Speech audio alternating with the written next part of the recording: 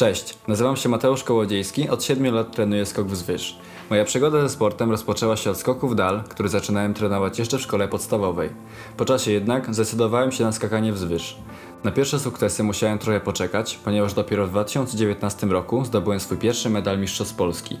W następnych latach systematycznie poprawiałem swój wynik, a poprzedni sezon letni stał się dla mnie całkowicie przełomowy.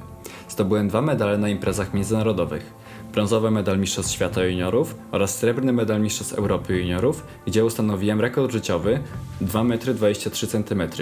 W aktualnym sezonie zdobyłem złoty medal Mistrzostw Polski Seniorów oraz przygotowywuję się do pierwszej seniorskiej imprezy międzynarodowej Mistrzostw Europy w Monachium.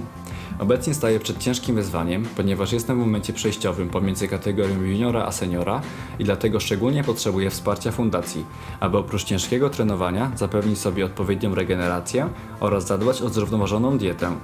Wierzę, że Fundacja Moniki Pyrek pomoże mi wykonać skok w marzenia podczas najbliższych Igrzysk Olimpijskich w Paryżu, do których wytrwale się przygotowywuję.